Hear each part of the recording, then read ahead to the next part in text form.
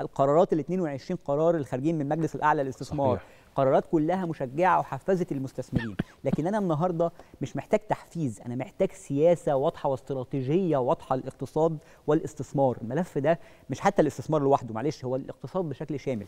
أنا النهارده آه، ودي مثلا شرحناها في الحوار الوطني. قلنا إن الحوار الوطني به ثمان لجان اقتصادية في المحور الاقتصادي. الثمان لجان قد تخرج النهارده بتوصيات متعارضة مع بعضها. لأن مثلا لجنة السياسات المالية هتقول والله أنا محتاج عشان اعجز الموازنة أزود الضرائب وأزود الحصيلة الضريبية. تيجي لجنة الاستثمار المحلي والأجنبي تقول والله عشان أحفز الاستثمار محتاج آه، حبة آه، تسهيلات وإعفاءات وتقليل للضرائب فهنا معارضه فالسياسة الاقتصادية سياسة متكاملة. لازم ده يقعد مع ده يقعد مع ده. ونشوف الدولة المصرية تحتاج إيه منا في المرحلة المقبلة كسياسة اقتصادية ورؤية واحدة. نشتغل عليها. نبدأها بقى من 2024 ل 2034 2040 مش مشكلة بس يبقى عندنا رؤية إحنا رايحين فين.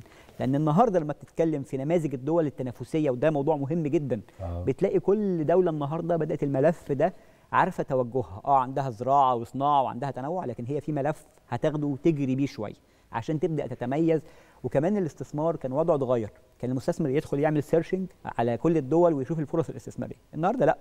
الدولة هي اللي بتروح للمستثمر اللي بتارجته أو بتستهدفه. وتقول له تعالى أنا هوفر لك وهوفر لك في الأراضي وهوفر لك في الضرايب وهوفر لك في التأمينات وعايز بقى نقل التكنولوجيا دي عشان تشتغل معايا عشان أنا كدولة شايفة نفسي في المكان ده في مرحلة تانية. هي دي الفروق النهارده في لغة الحوار ولغة الحوار بتاعت المستثمرين. إحنا النهارده آه، ليه بنطالب بوزير استثمار؟ عشان يبقى حد عنده هذه اللغة والتعامل مع المستثمر بشكل واضح ويقدر النهارده يبقى في تقييمات ليه. هو النهارده في آه، معدل التنافسيه التنافسية مصر وضعها إيه وترتيبها إيه؟ النهارده في تشجيع الاستثمار وبيئه الاستثمار وضعنا إيه؟ الوزير بقى ده نحاسبه إزاي؟ لا ما أنت لو بتعلى ترتيب ترتيب مصر وعدد والاستثمار أنا النهارده لا أقتنع إن حد يقول لي مصر كان مثلا وضع الاستثمار فيها 10 مليار دولار وزاد لي 20 مليار. ممتاز. مم. قارني بقى بجنوب أفريقيا قارني بالمغرب قارني بالسعودية قارني ب... قارني ببعض الدول اللي حوالينا. عشان أعرف حجم الزيادة في هذه الدول قد إيه وعملوا إيه عشان يتفوقوا في هذا الملف. حتى بعض الدول الأفريقية ككينيا أو أو يعني كتير من الدول الأفريقية اللي شغالة بشكل كويس جدا دي الجزئية اللي بتكلم فيها معاك على التنافسية. المستثمر بيجي يبص هنا ويشوف الفرصة هنا إيه والفرصة هنا إيه والفرصة هنا إيه.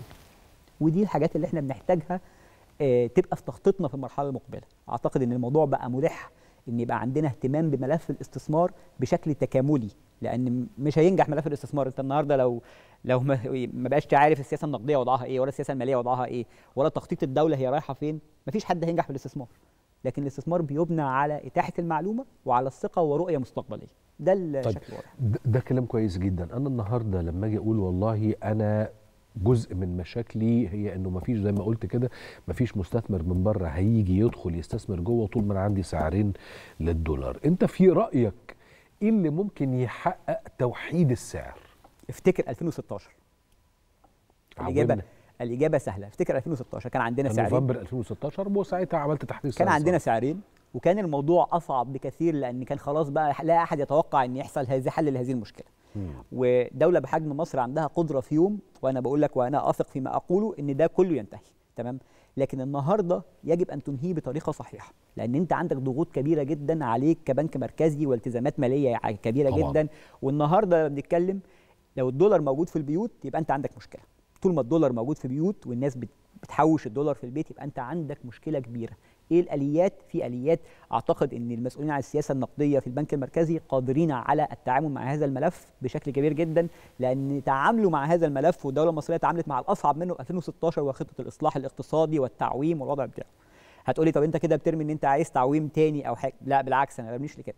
لأن النهارده الوفرة في الدولار موجودة في السوق المصري. حضرتك النهارده لما بتبقى عايز دولار بتجيبه بتجيبه بقى بكام؟ دي مشكلة تانية. فهي المشكلة إن هو متوافر لكن سعره إيه في السوق؟ وهل هنجيبه في السوق السوداء طب ما السوق السوداء بيطلع وبينزل على حسب التصريحات والرؤى.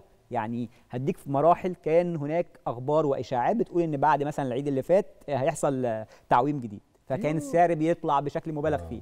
لما ده ما حصلش وخرجت تصريحات رئيس الوزراء وخرجت استقرار من البنك المركزي وثبات وزيادة في آه، الصادرات المصرية وزيادة في إيرادات قناة السويس والسياحة كل ده قلل وطأة ارتفاع آه، السعر في السوق السوداء بس قلل تحويلات المصريين في الخارج اللي قلت. ليه؟ لأن هو النهارده ماسك على الفلوس مش عايز يحول لأهله هنا عايز يحقق أكبر استفادة. لأن هو بيتعب فعايز طب يحقق أكبر يعمل إيه؟ فبيستنى بيحاول بقى بطرق مختلفة تانية وده مش فاي فايده للدوله دي.